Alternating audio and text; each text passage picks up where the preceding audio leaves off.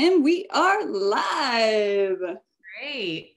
Excellent. Well, hey, y'all. Thanks for joining us for the first Fermentology mini webinar. I'm Erin McKenney. And I'm Lauren Nichols. And we're scientists in the Applied Ecology Department at North Carolina State University. We won't be holding a live Q&A, but we will be consolidating any questions that you enter into the Q&A feature on Zoom or that you post on social media, and we'll answer as many of those as we can.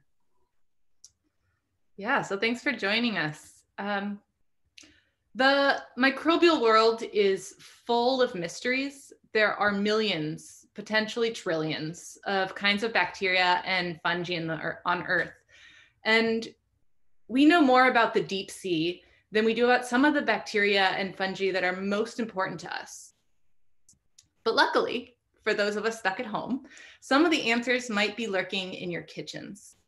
Whereas most microbial systems are incredibly complicated and difficult to manipulate. Experimentally, there's one system that's not only easy to manipulate, but is getting more attention than usual right now.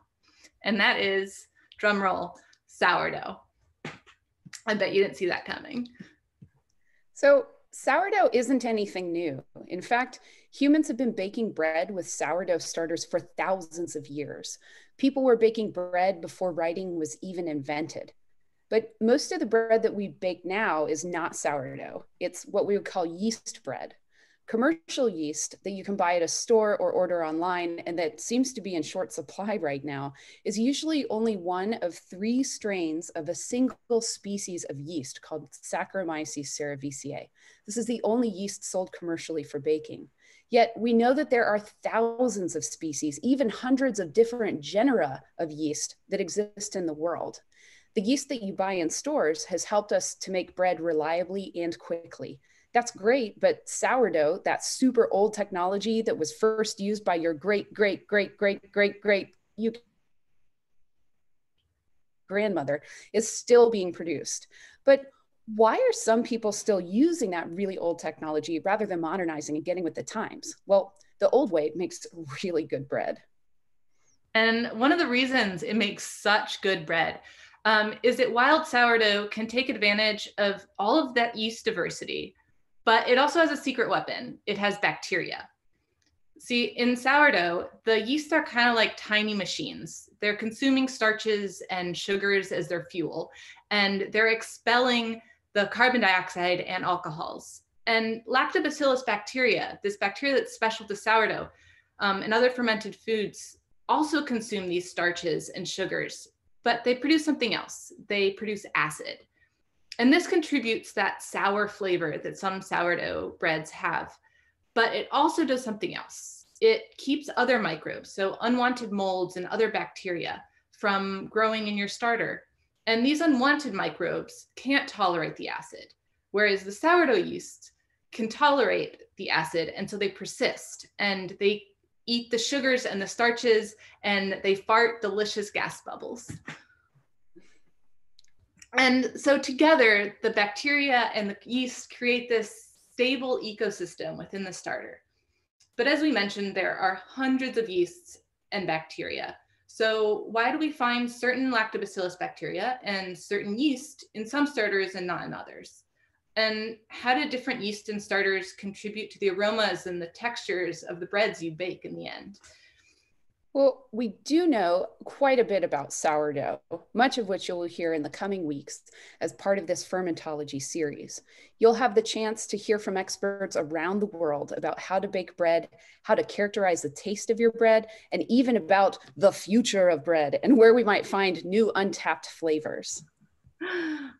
But at the end of the day, as with most questions related to microbes, despite having thousands of years worth of experience, baking bread, there's still a lot we don't know. So there are still lots of yeast even that don't have names. We know absolutely nothing about them. Um, what is their role in this alchemy of turning flour and water into delicious bread that we eat? And we know that yeasts exist in flour and on the skin of the fruits that are probably in your refrigerator and even on our hands. But what determines which yeast and bacteria end up in which starter? So, to answer this question, a group of us from across different universities teamed up a few years ago to find out more about the science of sourdough. We reached out to the online ethos and implored bakers to send us a sample of your precious sourdough starters. And we were absolutely blown away by the response. Yeah, over 500 people ended up sending us sourdough starters from around the world. Some of these starters were only a few weeks old. Others had been passed down from grandparents to grandchildren and divided and shared throughout the years. And some were regarded as some sort of family heirloom pet. It was pretty amazing. Um, and so what we did once we had these starters is we used the latest advanced DNA sequencing techniques to study the entire microbiome. So this is the complete list of everything living in each one of these starters. And what we found was that while many of the starters were dominated by Saccharomyces cerevisiae, so what we know is baker's yeast, we found 70 different kinds of other yeasts in the starters. And even for the Saccharomyces cerevisiae, that baker's yeast, we find that there's diversity in the strains, much more than any of the commercial varieties that are available. And in addition to the yeast, we found 70 different types of lactobacillus bacteria. And sometimes uh, sourdough was dominated by a single type of lactic acid bacteria, and sometimes there were multiple species coexisting in a single starter. So, just like that, by including sourdough starters, our repertoire of yeasts expanded from three varieties of a single species to dozens of species. So, let's just put this into perspective, right? Um, if yeasts were dogs, then bakers today largely work with three breeds of dogs in the vast majority of baking. We'll call them the yellow lab, the black lab, and the chocolate lab. But when you look at diversity in sourdoughs, we learn that there is a vast diversity of different breeds of dogs. There are poodles and basset hounds and Great Danes. We discovered German shepherds and chihuahuas and an occasional Afghan hound. But it's not just the breeds of dogs, there are also other species. Yeah, we encounter wolves and African wild dogs and foxes, and not just one type of fox. We find red foxes and fennec foxes. And the more we look at sourdoughs, the more varieties and species we encounter, and we realize how little we know about any of them because we've been spending our time trying to learn how to work with Labradors and trying to figure out what the difference is between a yellow Labrador and a chocolate lab, rather than trying to figure out what makes a gray wolf different from a pug. Exactly. So once we knew which microbes were in each of the starters, we used information um, that the bakers had shared with us, including where their starter lives, where it was created, and how it was maintained. This helped us to figure out why we see certain microbes in some starters and not in others. So far, we find that yeast tend to vary depending on your geographic location.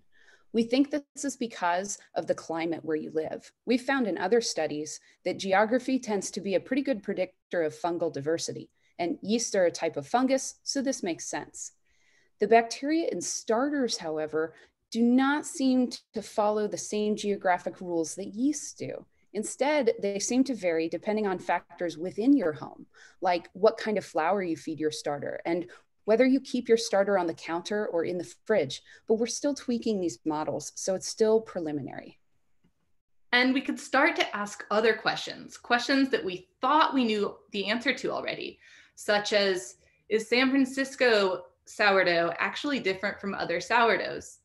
Common understanding, if you've ever had San Francisco sourdough bread, is that it's different because it has a specific kind of yeast that's called Lactobacillus sanfranciscensis. So it's even its namesake. But when we look at global starters that we got, we see that we find this bacteria in sourdoughs as far and wide as Australia and Germany and France. So if San Francisco sourdough is special, it's not because it has this one particular kind of bacteria after all.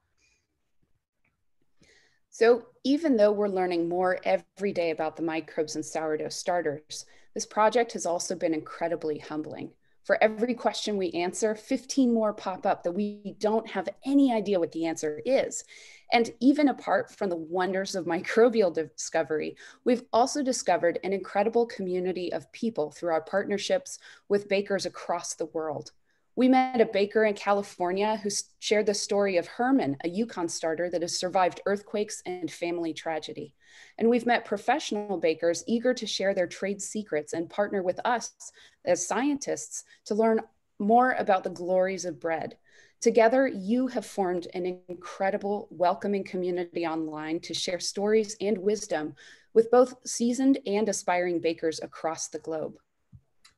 And yet, despite all of this work, we still have questions about these microbes and how they affect bread. And that's why we need your help.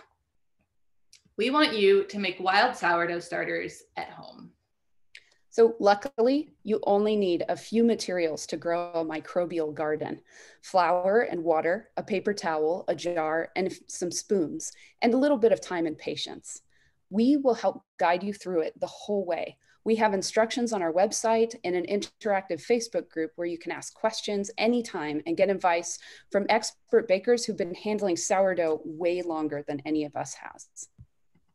And so what we'll do is after you've fed your starter 14 times, you'll take a few measurements. And so for most of you, this will be on your 15th day, but some starters have faster metabolism. So you might want to, you might get there before the 15th day. But on this 15th day, you'll watch your sourdough over the course of the day, keeping track of how fast it rises. And ultimately, the measurement that we want you to send us is how high your starter eventually reaches, the maximum height your sourdough eventually reaches, and how long it takes to get there. And we'll also ask you to sniff your starter and tell us a little bit about its aroma. So maybe it smells like bananas or vinegar Maybe it smells like smelly feet, and maybe it even smells like beer. But and finally, we'll ask you to send us two photos. So one from the aerial view of, of your starter and one from the side when it's at that really peak bubbly height. Together, your data can help us to answer questions that we couldn't answer before. So as we mentioned before, yeast tends to vary with geography, but we still have a lot of unresolved questions about how geography affects your starter. You see, our original study was an exploratory study, not necessarily a controlled experiment.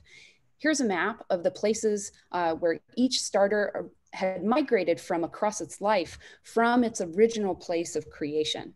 Some starters stayed close to home, they're kind of homebody starters. Others traveled halfway across the globe. There's a lot of variability here that we couldn't control in the original experiment that included starters of different ages and life histories with the new Wild Sourdough project, by growing new starters from scratch and all in your own homes, we'll be able to compare your starters directly without having to tease apart age or migration. We won't know which microbes are in your starter, but the rise and aroma of your starter can tell us a bit about the metabolism, like what those microbes are doing in there. And we can learn something about how geography ultimately affects the rise and aroma of your sourdough. Yeah, and we're also curious about different flour types and how that might affect your sourdough starter. So for some of our previous work, we know that different bacteria and yeast are present in different types of flour, but we don't know how these different inputs might affect the mature starter. So if you have several different types of flour at home, we'd love for you to grow several different starters and compare them to help us explore how different flours affect your starter. And we know that flour, um, people are concerned that there's a limited access to flour right now, and we understand that. The project only requires a cup and a half of flour to grow a starter. So this is perfect if you only have a little bit, or if you have a little bit of random leftovers of some strange flours hanging out in the back of your cabinet that you don't know how to use. But if you only have time to make a single starter, that's fine too. And we're excited for the data but we're really excited to share in your experience along the way as well. By sharing your questions and observations, we can actually come up with new experiments and directions together. We really want to make this a collaborative approach. So ultimately, Erin and I and the scientists in our lab, we're all stuck at home too. So we're locked out of our labs without all of our fancy lab equipment. And so we want to join you in exploring ways to continue being curious about the world and solving microbial mysteries together. And if you're a teacher and want to use this project to build lesson plans for kids or learning modules about chemistry, history, biology, evolution, or ecology, please do. We've made some that actually span science, math, um, and even language arts, but we imagine a world in which everything could be taught through fermentation. Of course we do. So as humans, we've been baking bread forever. And it is what it has always been all about communities communities of microbes, communities of scientists, communities of bakers, and communities of people. While we're all practicing social distancing, we can still come together as a community. Please join us as a community of scientists, bakers, and microbes. And I'll add that because we're a small team, the fastest way to get general questions answered will be social media right now. But if you have big ideas about sourdough or fermentation or think we should be doing things differently, send us an email. Um, in the meantime, check out the project and the instructions on our website listed on this slide. And thanks for joining us. Yeah, thanks everybody for coming. Hope we see you next week at subsequent fermentology um, talk. Yeah, and we'll consolidate questions uh, that have been listed on the question Q&A or on YouTube or on Facebook and try and answer as many as we can. Yeah. Thanks so much, everyone.